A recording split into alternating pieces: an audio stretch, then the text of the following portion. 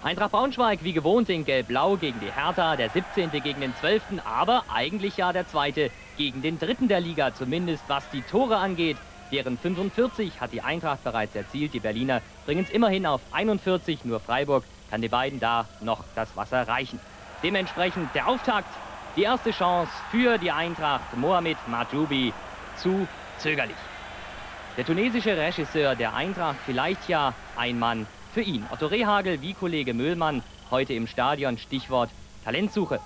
Zunächst aber beide Teams auf der Suche, nämlich nach dem probaten Mittel vor dem gegnerischen Tor. Frank Thür noch mit einer der besseren Chancen, aber null Problemo für Junghans im Hertha-Tor. 8000 Zuschauer, darunter wie immer eine ganze Menge aus Berlin, die zunächst nicht zu beneiden waren. Die Hertha nämlich harmlos, die erste Chance überhaupt nach einer halben Stunde nach diesem Freistoß von Scheinhardt. Eintracht-Keeper Olli Lerch mit leichten Problemen. Berlins Fans, sie waren noch frohen Mutes, auch wenn erst einmal die Braunschweiger ein leichtes Plus zu verzeichnen hatten. Der Ball gleich wie so oft vertändelt im Berliner Mittelfeld. Ja, und da ist er der Konter. Klasse Pass von Majubi auf Buchheister. Der allein vor Torwart Junghans und der Berliner Schlussmann gewinnt dieses Duell dann Buchheister früher der Mann im Braunschweiger Sturm, zwischenzeitlich aber als Libero eingesetzt. Es gab Zeiten, da hätte er den wohl locker verwandelt. Aber wieder Braunschweig. Nedic. Sein Pass. Ja, und er soll auf Buchheister kommen. Aber wie so oft zu ungenau vier neue im Team der Eintracht. Klar, dass da ab und an die Feinabstimmung noch fehlen muss. Der direkte Gegenzug. Tanker auf Deman. Der sieht in der Mitte Theo Gries. Und der mit ganz viel Gefühl zum 0 zu 1. Der 15. Saisontreffer bereits durch den Schützen vom Dienst bei der Hertha. Keine Chance für Torwart Lerch, wie wir hier nochmal sehen. Theo Gries, eine ganze Menge Gefühl. Die Eintracht also im Rückstand, musste jetzt kommen und tat das über Buchheister. Hier ist er am Ball. Bringt den Ball erst einmal unter Kontrolle. Schaut, und sieht Geilenkirchen. Der schaut auch erst einmal, nimmt Maß, das 1 zu 1 ein Supertor des ehemaligen Kölners. Von ihm sagt man ja, er habe den härtesten Schuss der zweiten Liga. Dies also eine kleine Postprobe.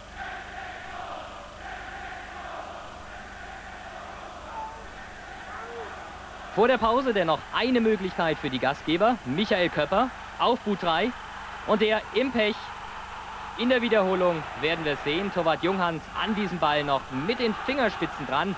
Hier lenkt ihn an den Pfosten. Günter Sebert natürlich sauer. Ausgleichstreffer so kurz vor der Pause. 1 zu 1 also nach 45 Minuten. Und nicht nur ganz kleine Fans sollten nach der Pause ziemlich große Augen bekommen.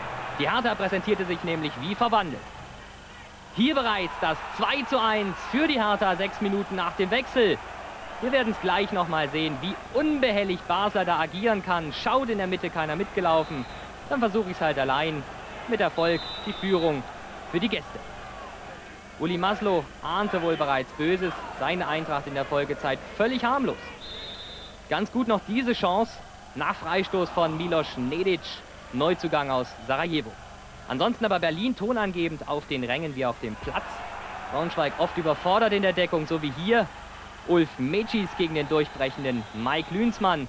Klares Foulspiel. Hier sehen wir es. Notbremse gegen Berlins Mittelstürmer und klarer Fall. Gelbrot gegen Mechis, der vorher bereits gelb gesehen hatte. Schwarzer Tag, so sah es aus für die Eintracht und es sollte noch schlimmer kommen. Der fällige Freistoß, André Winkhold, die Braunschweiger noch im Glück. Fünf Minuten vor dem Ende hatte aber auch das ein Ende. Braunschweig mit Mann und Maus im Angriff, Räume zum Kontern für die Hertha, genutzt vom Mann mit der Nummer 6, Marco Zernicke, ein klasse Tor, das 1 zu 3, die Entscheidung hier in Braunschweig. Noch einmal, auch hier, da passte wirklich nichts mehr dazwischen, zwischen Ball und Pfosten. Herthas Anhang überschwänglich. Tja, und die Braunschweiger traf es denn noch ein bisschen härter. Minuten vor dem Abpfiff diese Unbeherrschtheit vom Buchheister gegen Berlins Libero Tanker. Der Tritt in den verlängerten Rücken, klarer Fall für Schiri Lange aus Kassel. Rot, Platzverweis gegen Buchheister. Bitter für Braunschweig, für Berlin geht es weiter aufwärts. 11 zu 1 Punkte jetzt in Folge. Glückwunsch nach Berlin.